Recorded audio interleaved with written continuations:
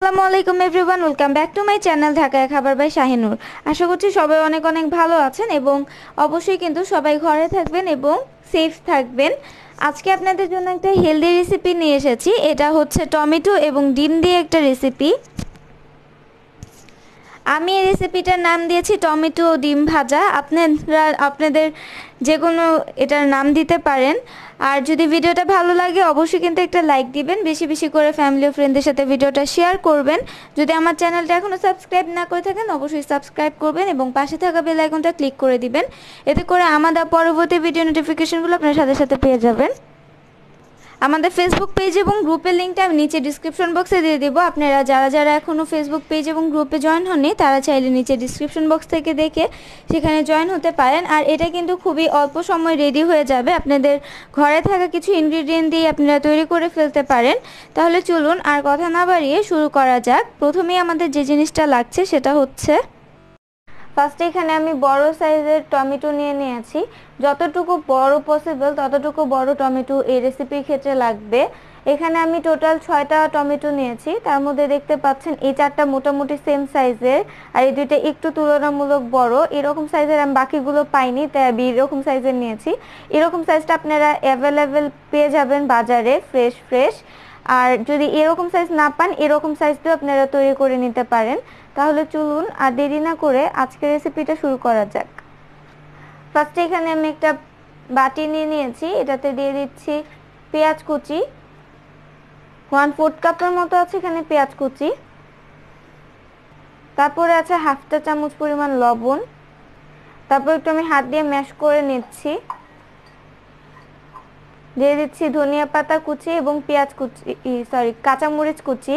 এখানে কাঁচামরিচ কুচি আছে ওয়ান টেবিল স্পুনের মতো, এবং ধনিয়া পাতা কুচি আছে টু টেবিল স্পুনের মতো।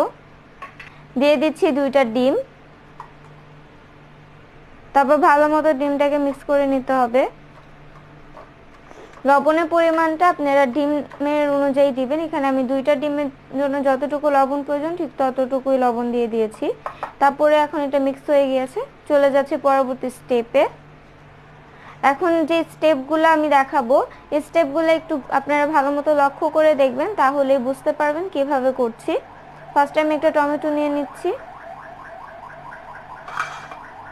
টমেটোটাকে উপর থেকে একটু কেটে নেব। দেখতেই পাচ্ছেন আমি কীভাবে কাটছি। এই পার্টটা আমি পুরোটাই আনকাট রাখব, আপনাদের বোঝার সুবিধার্থে। এই উপরের অংশটুকু আমি কেটে নিলাম। প্রায় এক ইঞ্চি মোটা করে কেটে নিলেই হবে। তারপর ভিতরের থেকে টমেটোর যে অংশটা আছে, সেটাকে আস্তে আস্তে করে কেটে নিচ্ছি। আই হোপ আপনারা বুঝতে পারছেন। ভিতর থেকে যে বিটের অংশটা আছে, সেই অংশটুকু আমি কেটে নিলাম। কেটে যতটুকু পসিবল এটাকে ক্লিন করে নিতে হবে। খালি সাইডের যে অংশটা আছে সেটা রাখব। কিন্তু এতটাও পাতলা করা যাবে না। এটা কিন্তু আমরা ভিতরে ডিমের যে মিশ্রণটা আছে সেটা দিয়ে পরে এটাকে ভেজে নিব। সো বেশি কিন্তু আবার পাতলা করা যাবে না। স্কিনটা একটু মোটা রাখতে হবে। দেখতেই পাচ্ছেন কীভাবে করলাম। বাকি টমেটোগুলোকেও এভাবে করে কেটে নিতে হবে। টমেটোগুলো সবগুলো আমি কেটে নিয়েছি, দেখতেই পাচ্ছেন। এখন চলে যাব পরবর্তী স্টেপটাতে এখন ওই ডিমের যে মিশ্রণটা তৈরি করে রেখেছিলাম, টমেটোর মাঝখানে যে স্পেসটা আছে সেখানে ডিমের মিশ্রণটা দিয়ে দিতে হবে।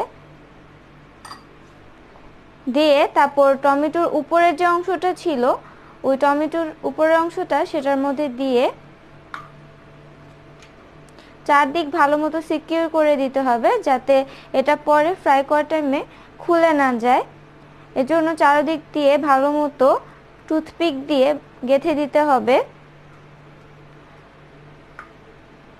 দেখতেই পাচ্ছেন কতটা ইজি যতটা ইজি খেতে কিন্তু ততটাই হেলদি এবং ইয়ামি অবশ্যই কিন্তু বাসায় ট্রাই করে দেখবেন। দেখতেই পাচ্ছেন আমি চারোদিকটা ভালো মতো সিকিউর করে নিয়েছি। বাকি টমেটোগুলোকেও এভাবে আমি তৈরি করে নিচ্ছি।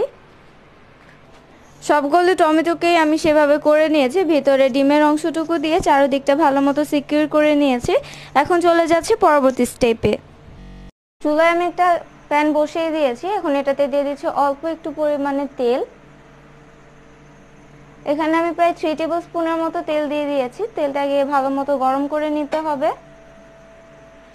তেলটা গরম হয়ে গেলে একটা একটা করে টমেটো এটাতে দিয়ে দিতে হবে। চুলার হিটটা মিডিয়াম টু লো হিটে দিয়ে দিতে হবে। খুব একটা বেশি হিটে কিন্তু এটা ফ্রাই করা যাবে না। একটু সময় নিয়ে ভেজে নিতে হবে। এখন ঢাকনা দিয়ে দিচ্ছি। পাঁচ থেকে ছয় মিনিটের মতো সময় লাগবে। তো ফিরে আসছি পাঁচ থেকে ছয় মিনিট পরে।